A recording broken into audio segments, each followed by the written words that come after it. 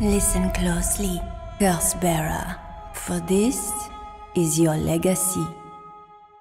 It was the first age of humanity, a time when men, gods, and beasts coexisted, often in the same body. Legend tells of the Sumerian goddess of the dead, Ereshkigal, who shackled the demon Pazuzu and used his very flesh to create a weapon of unspeakable power. A wicked king had stolen the key to the underworld and would not return it until the goddess forged a bloodthirsty blade to slay his enemies. And so, the demon's spine became the anvil, and the goddess's hand the hammer.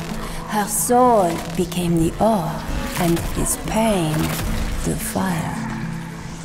The king was pleased, but as he first held the newborn blade, he felt a deathly shiver.